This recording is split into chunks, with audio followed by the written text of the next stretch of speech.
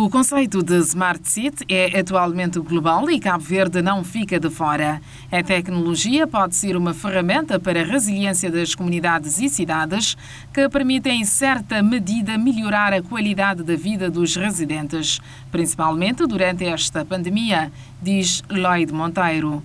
Só para se ter uma ideia, com esta pandemia, a tecnologia cresceu cinco anos em três meses, disse a presidente da Fundação Smart City. Portanto, basicamente, eh, quando falamos nas cidades, anteriormente falávamos apenas em urbanização, fazer estradas, infraestruturas, mas neste momento nós estamos a ver que a tecnologia mudou eh, mudou a forma de estar nas cidades e, e então essa inovação na urbanização, incluindo tecnologia na vida das cidades, é que vai trazer esse novo conceito de cidades smart. Principalmente agora com a pandemia, nós verificamos que a tecnologia disparou, uh, aumentou, cresceu em cinco anos, cresceu cinco anos em três meses durante a pandemia.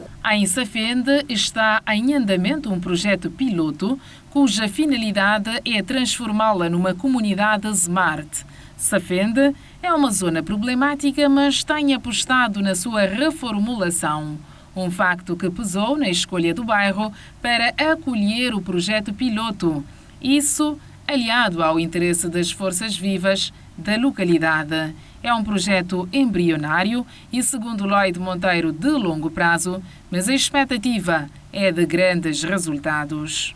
Eh, já temos uma governança do, da comunidade, a comunidade tem que estar organizada e estruturada para poder ter uma governança e nós pudermos, através dos representantes da comunidade, fazer, eh, desenvolver o projeto com participação dos residentes. Quando começou a pandemia, introduzimos uma solução smart de, de alerta, onde os residentes com problemas por causa do confinamento poderiam enviar alertas para, para o, os representantes da comunidade e uh, o representante da comunidade poderia fazer a ponte com o governo central ou local, porque muitas vezes o governo local ou as câmaras têm dificuldade em chegar a tempo nos bairros. E tendo esse intermediário na comunidade pode facilitar e ajudar a, a resolver alguns problemas no, no próprio bairro. Um trabalho contínuo cuja avaliação do projeto deve ser feita ao fim de três anos para saber quais as melhorias a serem introduzidas. Lloyd Monteiro frisa que o sucesso do projeto depende sobretudo do engajamento dos residentes da comunidade que apenas são orientados pela Fundação.